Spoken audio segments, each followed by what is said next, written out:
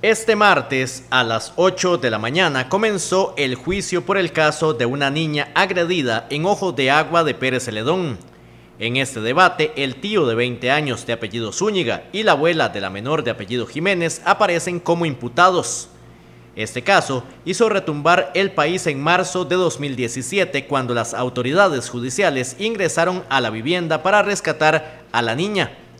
Durante la mañana se escuchó como testigo a una psicóloga, quien atendió a la menor cuando llegó a un centro ubicado en Pérez Celedón. En ese momento tenía poco más de cuatro años.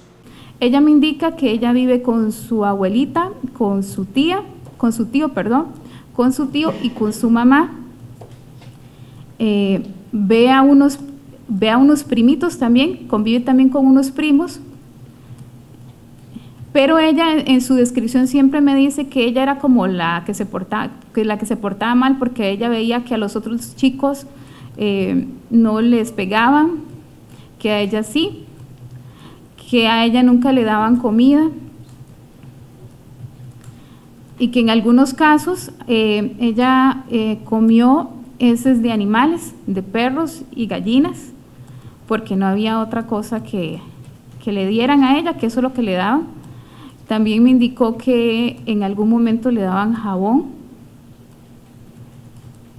y que la amarraban eh, en dos sectores de la casa.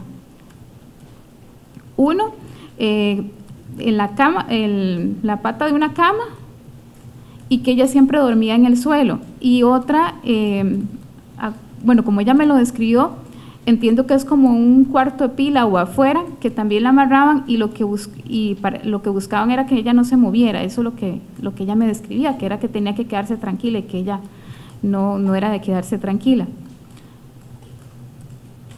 Luego, en otra, en otra situación que me describe, ella me describe que a la hora del baño la bañaba muy fuertemente,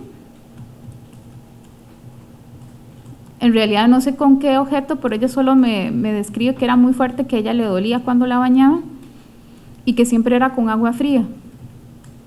Los delitos por los que son procesados Zúñiga y Jiménez son tentativa de homicidio y dos delitos de privación de libertad agravada.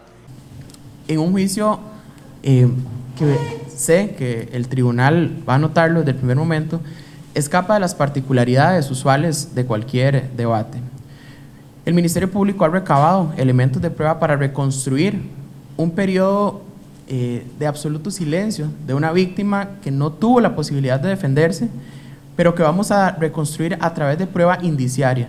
Y quiero fijar la atención del tribunal sobre esta situación. El tribunal no puede esperar, y sé que el, este tribunal maduro así lo, lo comprende, eh, tener directamente eh, prueba o eventualmente una víctima que declare como usualmente se esperaría de cualquier otra víctima que haga un, relato eh, cronológico, eh, posiblemente eh, ordenado, precisamente con ocasión de los hechos. No obstante, el Ministerio Público está convencido de que a través de su relato el tribunal podrá extraer el eje principal, el eje, medular, las ideas principales sobre la agresión que fue víctima esta persona.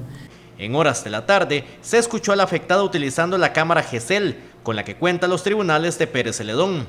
En total, son 11 testigos los que se escucharán en este juicio que se extenderá hasta el próximo jueves en los tribunales de San Isidro del General.